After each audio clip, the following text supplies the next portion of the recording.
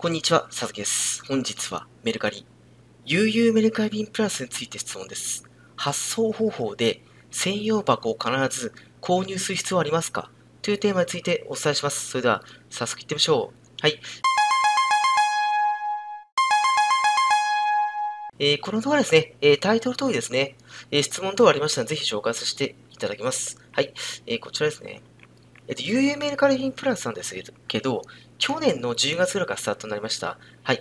で、あの、まあ、規約にね、規約に沿って通りだと、えー、悠々メルカリ便プラスを利用しないと、宅急便ですね、悠々メルカリ便プラスの配送料で商品発送することはできないです。はい。で、それ以外ですと、普通の宅急便ですね、になってしまうので、ぜひね、注意してください。で、こちらの方なんですけど、7センチまでしたら商品ありますので、ぜひ安心していただければいいかと思います。で、あの商品論なんですけど、ローソンですね、えー郵便局、メルカリストア等で、まあ、商品購入できますね。はい。で、朝7センチ以内ですね。で、えー専用資材はですね、65円です。非常に安いですね。